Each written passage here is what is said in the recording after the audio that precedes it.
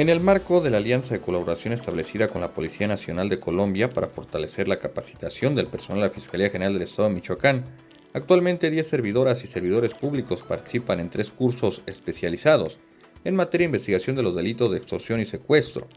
Ambos cursos son impartidos por la Escuela de Policía Antisecuestro y Antiextorsión de Cibate, el Departamento de Cundinamarca.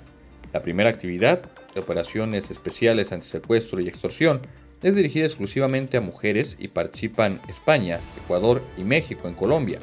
En este curso que inició en el mes de julio y que concluye la próxima semana, los representantes de la Fiscalía reciben capacitación en diferentes materias como armamento y tiro, técnicas de apertura de recintos cerrados, tiro de precisión, primeros auxilios, técnicas y tácticas urbanas y rurales, uso de la fuerza, planeación de operaciones, entre otros.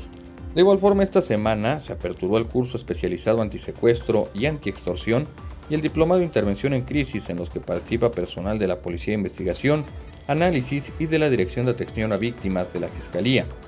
En el marco de la inauguración de estas actividades, el titular de la Unidad de Combate al Secuestro de la Fiscalía, Rodrigo González Ramírez, resaltó el respaldo e interés que ha brindado el fiscal general Adrián López Solís para aprovechar las alianzas de colaboración internacional y alentar la capacitación especializada, tanto en México como Estados Unidos y Colombia.